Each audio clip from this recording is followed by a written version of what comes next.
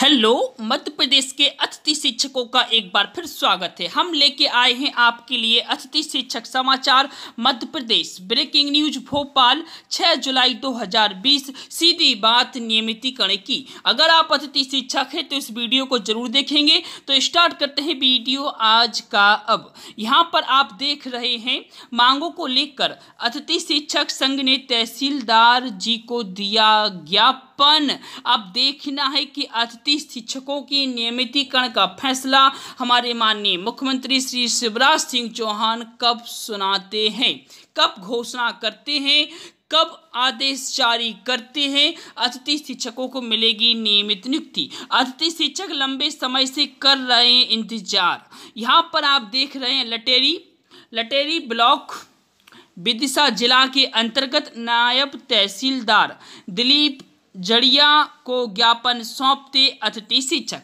अब हम आपको यहाँ पर दिखा देते हैं, यहाँ पर अतिथि शिक्षक, मध्य प्रदेश के अतिथि शिक्षक मध्य प्रदेश के अतिथि शिक्षक, लटेरी ब्लॉक, जिला विदिशा में तहसीलदार महोदय जी को ज्ञापन देते हुए ज्ञापन में मांग रखी है।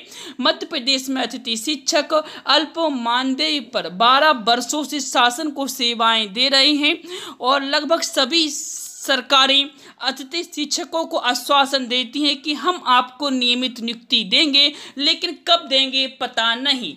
अगर उपसभा उप विधानसभा चुनाव से पहले अतिथि शिक्षकों को नियमित नियुक्ति नहीं मिलती है तो अतिथि शिक्षक वर्तमान सरकार का विरोध करेंगे। यहाँ पर आप देख रहे हैं जागरण लटेरी। अतिथि शिक्षक संघ ब्लॉक लटेरी द्वारा तहसीलदार को मुख्यमंत्री के नाम ज्ञापन सौंपा, जिसमें मांग रखी गई।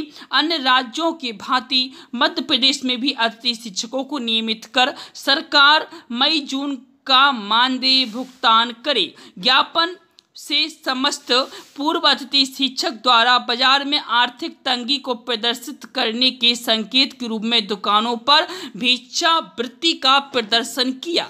अतिथि शिक्षक के ऐसे हालात आ चुके हैं। आर्थिक स्थिति इतनी कमज़ोर हो गई है कि अतिथि शिक्षक भीख मांगने पर हो चुके हैं। मजबूर। अब देखना है कि हमारी वर्तमान में माननीय मुख्यमंत्री श्री शिवराज सिंह चौहान मामा जी अतिथि शिक्षकों के लिए कब आदेश जारी करते हैं और आप यहाँ पर देख रहे हैं। जबकि नियमितीकरण का आश्वासन सभी पार्टियों ने दिया।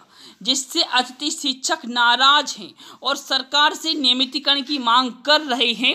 उनका कहना है कि राज्य सरकार उपचुनाव से पूर्व नियमित नहीं करती है तो हम इस पार्टी का विरोध करेंगे। अब देखना है कि हमारे माननीय मुख्यमंत्री श्री शिवराज सिंह चौहान अतिथि शिक्षकों की समस्याओं को कितना गंभीरता से लेते हैं, कब इनकी समस्याओं का निराकरण करते हैं, हम आपसे फिर मिलेंगे नेक्स्ट वीडियो के साथ। तब तक के लिए बाय थैंक यू। वीडियो अच्छा लगे शेयर करें।